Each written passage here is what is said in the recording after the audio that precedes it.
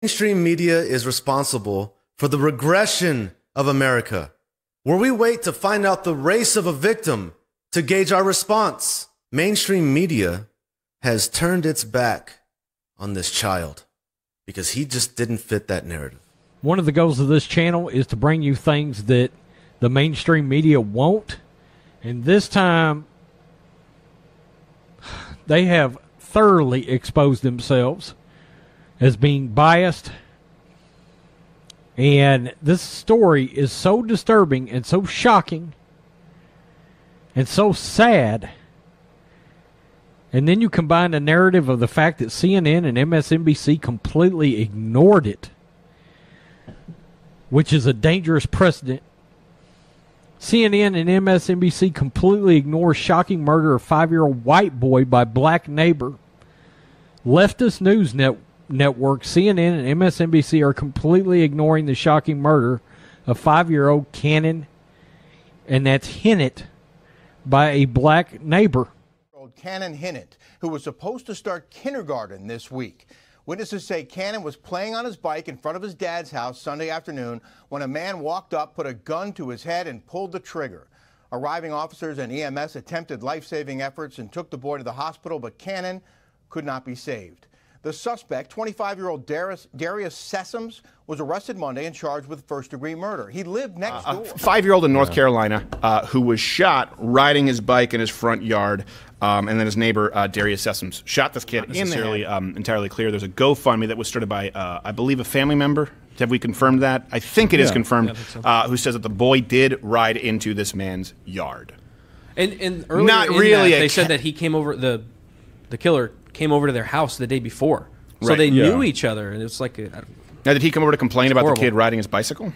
I don't know. They said for dinner. They said for Yeah. dinner. Yeah. For Yeah. dinner. Yeah. So do we have any? Was this just a case of mistaken identity where he thought it was someone else riding a bicycle on his lawn who he had the five year old on a bicycle? I don't know how you make that mistake. I can't think of a context where that makes sense. no, I can't think of a Yeah. context where it makes sense. And the police right now haven't thought of a context where that makes sense because at this point I believe that actually um, there are charges that have. story that we want to discuss today is um, happened in North Carolina. It involved a five-year-old white kid. Yeah, by the name of uh, Cannon Hinnant. Yeah, he was just riding his bike. His Mind his own business. Mind his own business. Um, his sisters was out there watching him ride his bike. Right. And when a neighbor by the name of uh, Darius Sessoms, who happens to be a black guy, just came over and shot the kid in the head. Now, Killed when, yeah. And, And to our knowledge, they were neighbors. They were cordial. They Yeah. even knew each other. Yeah, the Darius Sessoms, the guy that shot the five year old in the head Yeah. and killed him, he actually sat with the kid's father and uh, I think they ate food. Yeah, ate dinner, broke you know, broke bread together. Right, so Mhm. which is uh, really I don't know what was the motivation behind this killing. I just know it was pure evil. Yeah. And it was a tragedy. And everybody should walk away from this video knowing evil come in all colors black, white, brown, and in everywhere in between. Yeah, uh, but again, the reason why we want to discuss this story is not to exploit death like the left does all the time. They, if these roles were reversed in this story, if Cannon was a black kid and he was killed at the hands of a white guy, They would paint this as a white supremacist, and Yeah. we need more gun control. yeah, this would be uh, this would be mainstream news. Yeah. But because it's a white kid, Mm, And it's a black man who killed a white kid. You ain't gonna hear anything It's about not. it.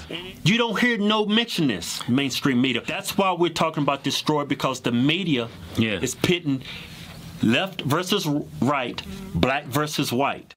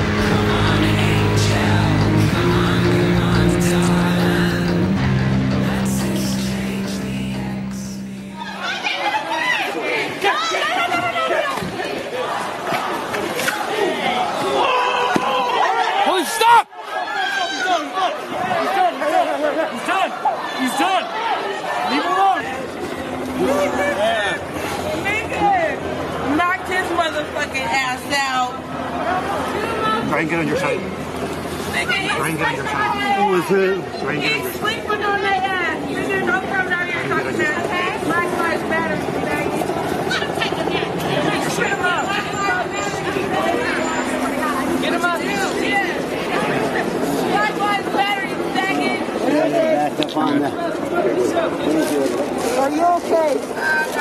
Get the shit off. I don't even care what you stand for. I'm not gonna. Man, you're lucky they're even taking care of you.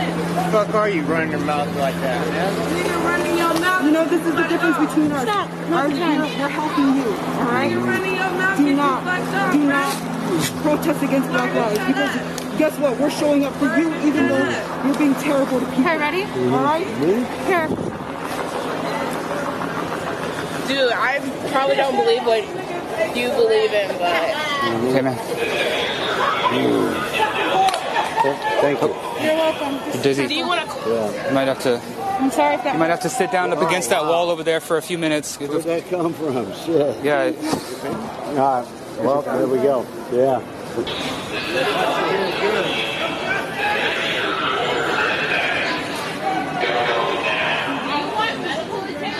Are you sure? Do you, need, do you want people to help you support people to lift you? Need help? Are you, are you busy?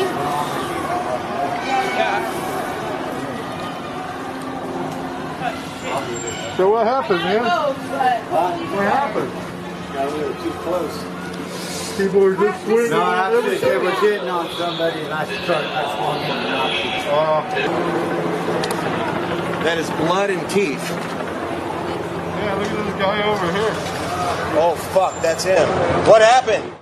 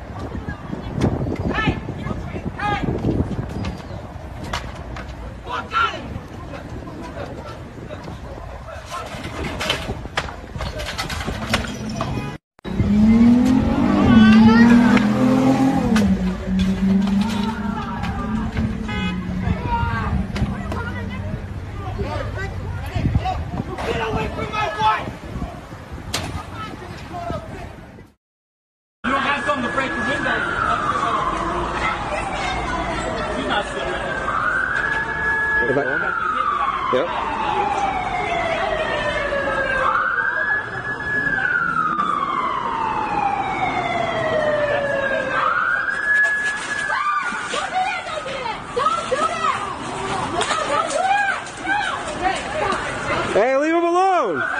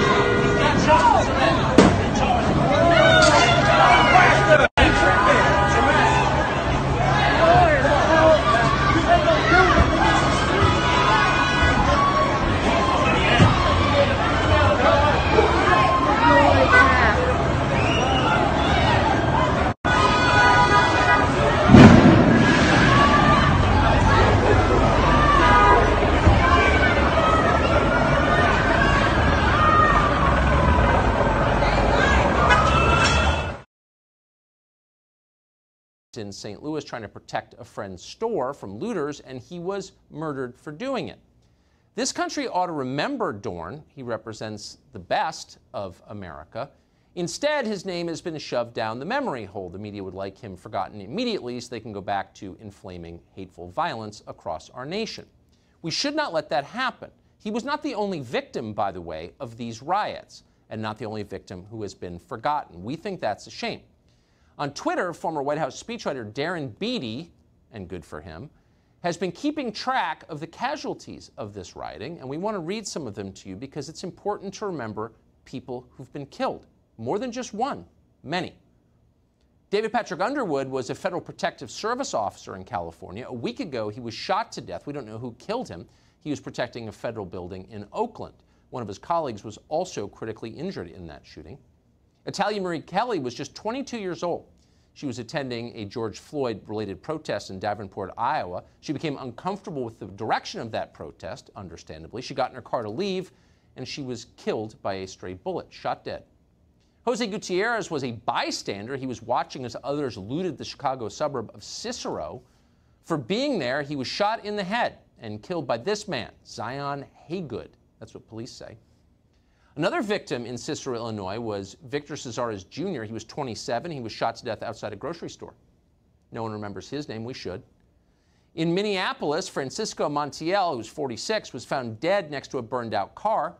Police attributed his death to, quote, complex homicidal violence. That's obvious. He was a casualty of the riots. At least three people were murdered during the violence in Indianapolis. One of them was 38 year old former Indiana football player Chris Beaty. He was found shot to death just outside his apartment. An unnamed Latino man in his 20s was also killed on Sunday in Los Angeles in an area that was completely demolished by rioters. And of course, those are just the ones who were killed. Probably not an exhaustive list. If you know more, please send them to us.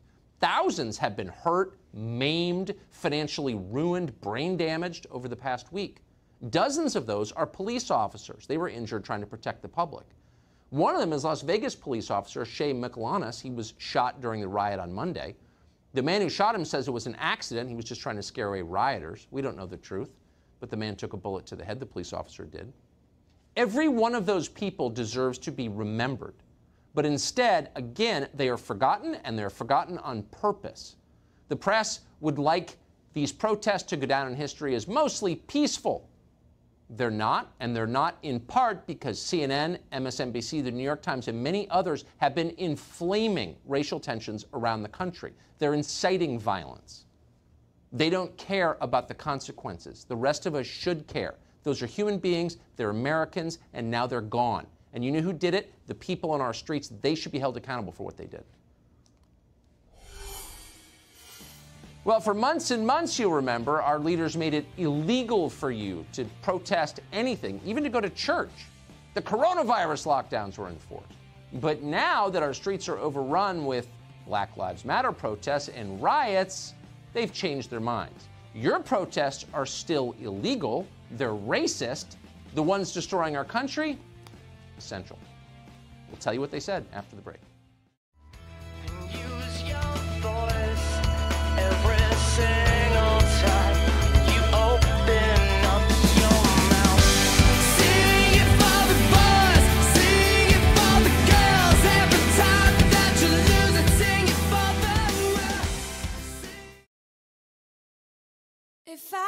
Young, bury me in satin, lay me down on a bed of roses, sink me in the river at dawn, send me away with the words of a love song.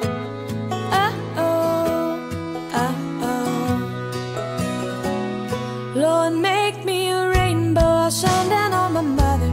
She'll know